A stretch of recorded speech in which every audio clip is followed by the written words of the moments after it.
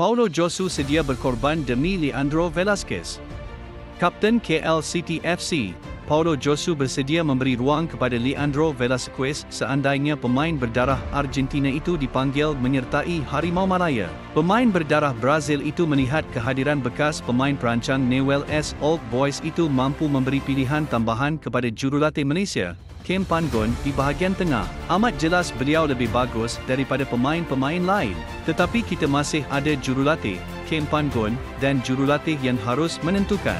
Jika kita ada peluang membawanya masuk ke dalam pasukan, saya fikir itu satu peluang yang bagus. Walaupun itu bermakna saya kena lepaskan posisi saya, saya akan lakukannya. Tiada masalah, katanya bila ditemu bual Nadi Arena di Astro Arena.